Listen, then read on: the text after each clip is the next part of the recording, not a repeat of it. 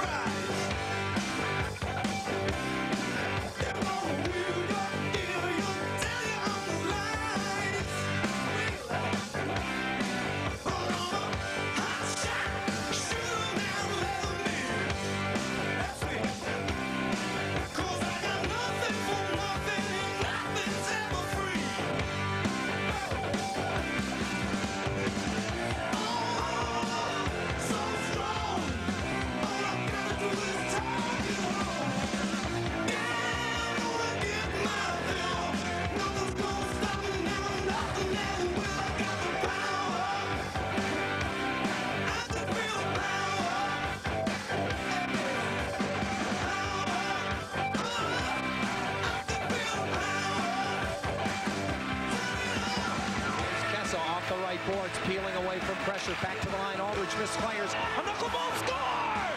Oh, I think Carson deflected it of the way. Banks was in front as well. And the game is tied. Into the Chicago zone. Ciavaglia toe drags to the slot. He scored!